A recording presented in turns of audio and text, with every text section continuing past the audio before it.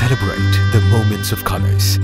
KMT Silks, Perinthalmanna Kottakkal കപ്പൂരിൽ നടന്ന കാർഷിക യന്ത്ര പ്രവർത്തന പ്രദർശനം കർഷകർക്ക് ഉപകാരപ്രദമായി. മന്ത്രി എം പി രാജേഷ് പ്രദർശനം ഉദ്ഘാടനം ചെയ്തു.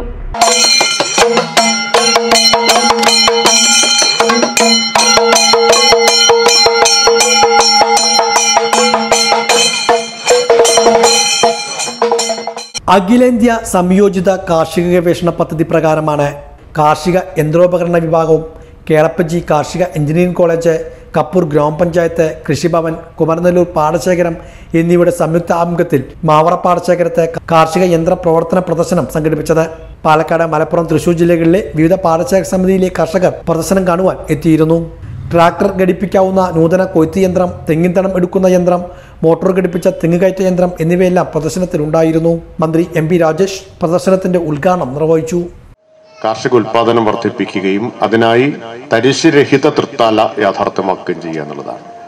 കൃഷി ചെയ്തിരുന്ന ഒരു ഭൂമിയും ഇനി തരിശ് കിടക്കുന്ന സ്ഥിതി ഉണ്ടാവരുത്.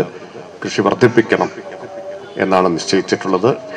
അതിന്റെ ഭാഗമായി ഇതിന് മുന്നോട്ട് വന്ന കാർഷിക സർവകലാശാലയെ അതിന് നേതൃത്വം കൊടുക്കുന്ന അബ്ദുൽ ജബ്ബാർ സിന്ധു തുടങ്ങിയ എല്ലാവരെയും ഞാൻ ഈ സന്ദർഭത്തിൽ അഭിനന്ദിക്കുന്നു. തുടർന്ന് ഇതിന്റെ മറ്റു പ്രവർത്തനങ്ങളിൽ തീർച്ചയായിട്ടും ഒപ്പമുണ്ടാവും പിന്തുണയുണ്ടാവും എന്ന് അറിയിച്ചു കുമരനെല്ലൂർ മാവറ പാടശേഖരം ചീഫ് ഫാർമർ യൂസഫ് ഒറവലിന്റെ കൃഷിയിടത്തിലായിരുന്നു ഡെമോൺസ്ട്രേഷൻ അരങ്ങേറിയത്.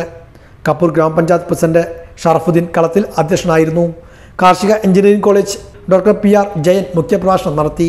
തവനൂർ ഇൻസ്ട്രക്ഷണൽ ഫാം മേധാവി P K Abdul Jabbar doctor Sindhu Bhaskar ജില്ലാ പഞ്ചായത്ത് അംഗം ഷാനിബ ബ്ലോക്ക് പഞ്ചായത്ത് അംഗം K V Balakrishnan V U Sujitha T P Hydarali Benny Sebastian Sahana Hamsa തുടങ്ങിയവരും പങ്കെടുത്ത് സംസാരിച്ചു.